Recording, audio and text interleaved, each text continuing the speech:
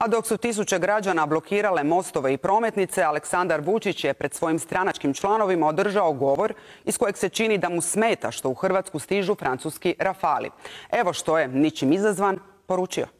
Bićemo uvek samo dovoljno snažni da svoju zemlju možemo da sačuvamo, zaštitimo, da nas više nikada ne ponižavaju kao što su činili i 99. i 2004.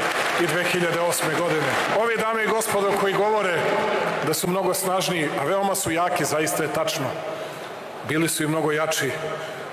Oni ne znaju da im mi još nismo rekli, još ih nismo obavestili šta je to što stiže u Srbiju.